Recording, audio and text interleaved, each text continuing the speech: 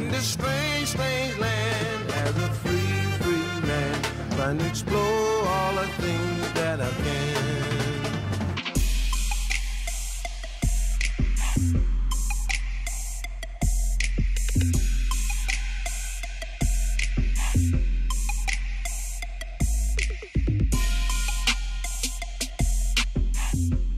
We knew that recreational sale of marijuana was going to be much bigger than the medicinal. We're ground zero for it, so we knew we had to cover it in a way that we hadn't covered it in the past.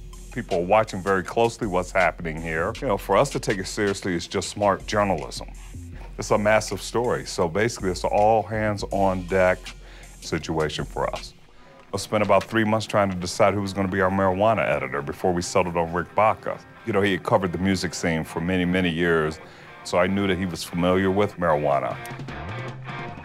We just knew that he could build something like this from the ground up. Perfect choice. He was right under our nose. We have a brand new culture of cannabis website called The Cannabist.